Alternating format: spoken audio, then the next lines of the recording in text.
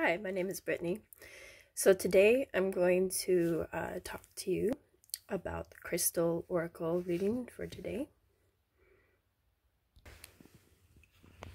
So today's card is the Moonstone from uh, Crystal Oracle deck. Mm -hmm. So today's message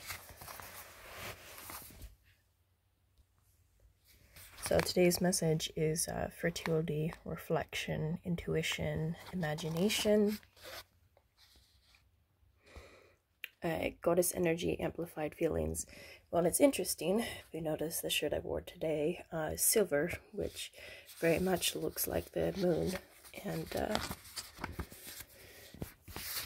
so during the appearance of the next full moon, your emotions will be amplified, and you will at times think you are going crazy. However, keep your calm, for this condition will only last a few days.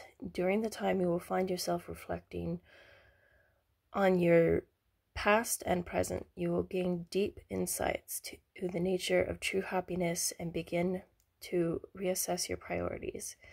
After the full moon, a fertile period in your life will begin, full of many enriching challenges and changes.